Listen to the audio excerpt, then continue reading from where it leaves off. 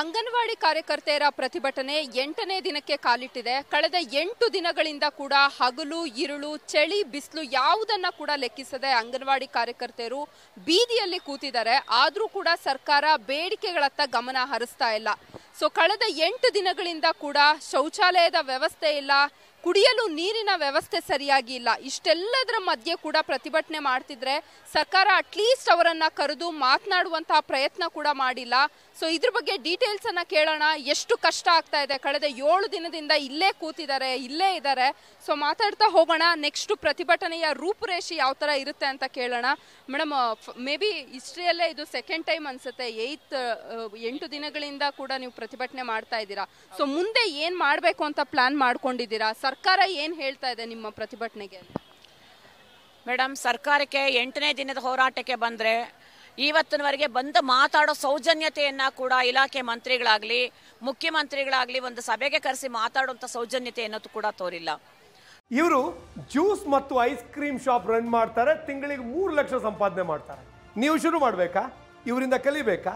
Freedom ಆ್ಯಪನ್ನು ಈಗಲೇ download ಮಾಡಿ. ಇವತ್ತು ನಮ್ಮ ಮುಂದಿನ ಹೋರಾಟ ಹೇಗಿರುತ್ತೆ? ನಾವು ಏನು ಬೇಡಿಕೆಯನ್ನ ಕೇಳ್ತಾ ಇದ್ದೀವಿ? ಸರ್ಕಾರಕ್ಕೆ ಏನು ಹೊರೆ ಆಗುತ್ತೆ ಅನ್ನೋದನ್ನ ಇವತ್ತು ಮಧ್ಯಾಹ್ನ ಮೂರು ಗಂಟೆಗೆ ಒಂದು ಪ್ರೆಸ್ ಮೀಟ್ ಅನ್ನ ಕರೀಲಾಗಿದೆ. ತಾವು ಕೂಡ ಅಲ್ಲಿ ಬನ್ನಿ, ಅಲ್ಲಿ ನಾವು ವಿವರಿಸ್ತೇವೆ. ಯಾಕೆ ಸರ್ಕಾರ ನಾವು ಕೇಳಿರೋಂಥ ಡಿಮ್ಯಾಂಡನ್ನು ಅವರು ಬಗೆಹರಿಸ್ಲಿಕ್ಕೆ ಆಗದೆ ಇರೋಂಥ ಹೆಚ್ಚು ಆರ್ಥಿಕವಾಗಿ ಹೊರೆ ಆಗುವಂಥದ್ದನ್ನ ಯಾವುದನ್ನು ನಾವೇನು ಕೇಳಿಲ್ಲ. ಒಂದಷ್ಟು ಆರ್ಡರ್ ಕಾಪಿಗಳನ್ನು ಮಾಡಬೇಕು ಅಂತ ಕೇಳಿದ್ದೀವಿ ಕೆಲಸದ ಸಮಯ ಕ ಮೀಸಲಿಡೋ ಅಂಥದ್ದು ಕೆಲಸದ ಹೊರೆ ಕಡಿಮೆ ಮಾಡುವಂಥದ್ದು, ಅಂಗನವಾಡಿ ಕಾರ್ಯಕರ್ತೆಯರನ್ನ ಶಿಕ್ಷಕಿ ಮಾಡುವಂಥದ್ದು, ಗ್ರಾಜ್ಯುಯಿಟಿನ ಮಾಡುವಂಥದ್ದು, ಕೊಡುವಂಥದ್ದು. ಗ್ರಾಜ್ಯುಯಿಟಿ ಸುಪ್ರೀಂ ಕೋರ್ಟ್ ತೀರ್ಪನ್ನು ಕೊಟ್ಟ ಮೇಲೆ ಎಲ್ಲ ರಾಜ್ಯ ಸರ್ಕಾರ ಕೂಡ ಅದನ್ನು ಎತ್ತಿ ಹಿಡಿಬೇಕಾಗಿರೋದು ಆ ಸರ್ಕಾರದ ಕರ್ತವ್ಯ ಅದು, ಸುಪ್ರೀಂ ಕೋರ್ಟ್ ತೀರ್ಪನ್ನು.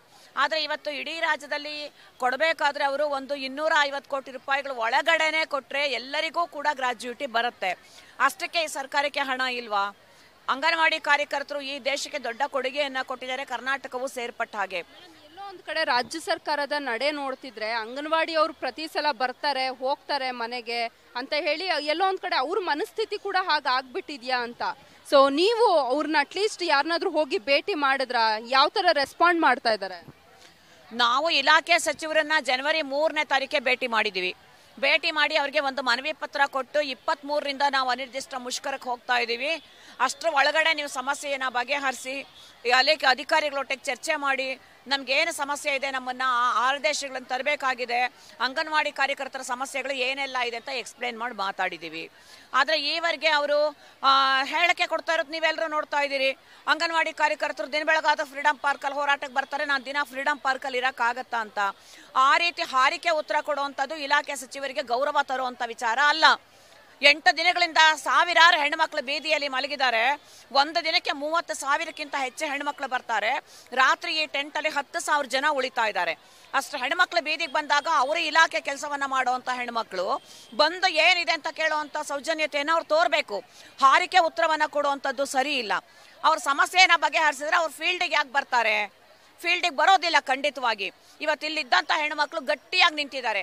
ಚಳಿ ಇದೆ, ಟಾಯ್ಲೆಟ್ ಪ್ರಾಬ್ಲಮ್ ಇದೆ ಕುಡಿಯೋ ನೀರಿನ ಸಮಸ್ಯೆ ಇದೆ. ಏನೆಲ್ಲ ಇದ್ರೂ ಕೂಡ ನಾವು ಹೋರಾಟ ಮಾಡೇ ಮಾಡ್ತೀವಿ. ನಮ್ಮ ಹಕ್ಕು ನಾವು ತಗೊಳ್ಳೇಬೇಕು. ಇನ್ನೆಷ್ಟು ವರ್ಷ ಇದೇ ರೀತಿ ದಬ್ಬಾಳಿಕೆಯಿಂದ ಶೋಷಣೆಯಿಂದ ನಾವು ಕೆಲಸ ಮಾಡಬೇಕು ಅಂತ ಕೇಳ್ತಾ ಇದ್ದಾರೆ.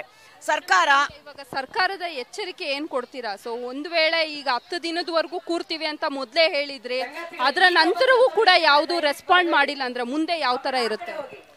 ಮೇಡಮ್ ನಾವು ಹತ್ತನೇ ದಿನದವರೆಗೂ ನಮ್ಮ ಹೋರಾಟಕ್ಕೆ ಸರ್ಕಾರಕ್ಕೆ ನಾವು ಸಮಯ ಕಾಲಾವಕಾಶವನ್ನು ಕೊಡ್ತೀವಿ ಅಂತ ಹೇಳಿದೀವಿ. ಹೋರಾಟಕ್ಕೆ ಬಂದ ದಿನ ನೀವೆಲ್ಲವನ್ನ ಈಡೇರಿಸ್ಬಿಡಿ ಅಂತ ನಾವು ಕೇಳಲಿಲ್ಲ.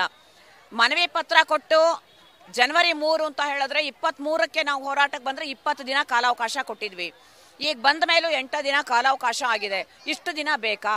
ಅವರು ಸ್ಪಂದನೆ ಮಾಡಲಿಕ್ಕೆ. ನಾವು ಟೆನ್ ಡೇಸ್ ಅಂತ ಹೇಳಿದ ಮೇಲೆ ಶಾಂತಿಯುತವಾದ ಹೋರಾಟವನ್ನು ಮಾಡ್ಕೊಂಡು ಬಂದಿದ್ದೀವಿ. ಯಾವ ರೀತಿಯಾದ ವೈಲೆನ್ಸನ್ನು ಕೂಡ ನಾವು ಮಾಡಲಿಲ್ಲ. ನಮ್ಮ ತಾಳ್ಮೆಯನ್ನ ಪರೀಕ್ಷೆ ಮಾಡೋದು ಬೇಡ. ನಮ್ಮ ಗಡುವು ನಮ್ಮ ಸಮಯನ ಏನು ಕೊಟ್ಟಿದ್ದಾರೆ ಅದು ಮೀರಿದ ನಂತರದಲ್ಲಿ ನಾವು ನಮ್ಮ ಹೋರಾಟದ ಹಾದಿಯನ್ನ ಹೇಗಿರಬೇಕು ಅಂತೀವಿ? ಮತ್ತೆ ಇಲ್ಲಿ ಕೂತಂತ ಹೆಣ್ಮಕ್ಳು ಇವತ್ತು ಹೇಳ್ತಾ ಇದ್ದಾರೆ, ನಾವೆಲ್ಲ ವಿಧಾನಸೌಧಕ್ಕೆ ಹೋಗೋಣ ನಡೀರಿ ಅಂತ. ಬೆಳಗ್ಗೆ ಅಂತ ಎಲ್ಲರೂ ಹೇಳ್ತಾರೋ ಅದೇ, ಇಲ್ಲಿ ಯಾಕೆ ಕೂರ್ಬೇಕು? ವಿಧಾನಸೌಧದ ಮುಂದೆ ಕೂತ್ಕೊಳ್ಳೋಣ ಅಂತ. ಆದ್ರೆ ನಮಗೆ ಇಲ್ಲಿ ಹೋರಾಟಕ್ಕೆ ಯಾವ ಪ್ಲೇಸ್ ಕೊಡ್ತಾರೆ, ಏನ್ ಕೊಡ್ತಾರೆ ವೈಲೆನ್ಸ್ ಇಲ್ಲದ ಹೋರಾಟ ಹೆಂಗಾಗ್ಬೇಕು ಅಂತ ನಮಗೂ ಗೊತ್ತಿದೆ. ಅವರನ್ನು ಕಂಟ್ರೋಲ್ ಮಾಡಿದೀವಿ. ತೀರಾ ಹತ್ತನೇ ದಿನ ಆದ್ಮೇಲೆ ಅವರು ಕಂಟ್ರೋಲ್ ತಪ್ಪಿದ್ರೆ